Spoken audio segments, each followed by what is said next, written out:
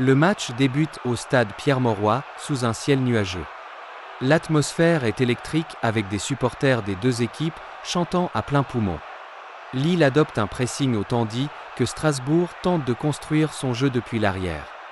Lille démarre fort. À la 15e minute, Edon Zegrova ouvre le score avec un tir précis, assisté par Angèle Gomme. Strasbourg réagit.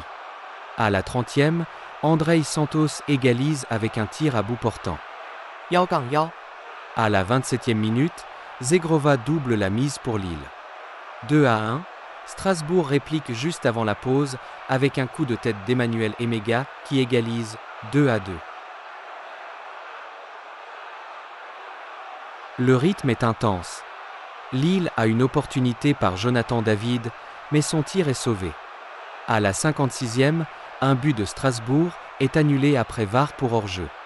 À la 66e, Sébastien Nanasi marque pour Strasbourg, donnant l'avantage à son équipe 2 à 3.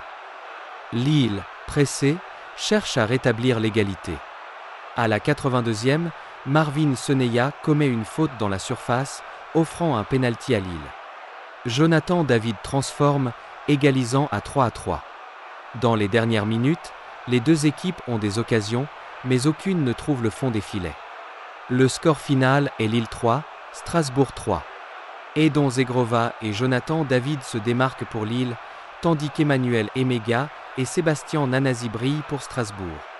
Ce match captivant a vu des retournements de situation, avec une intensité palpable et des occasions des deux côtés.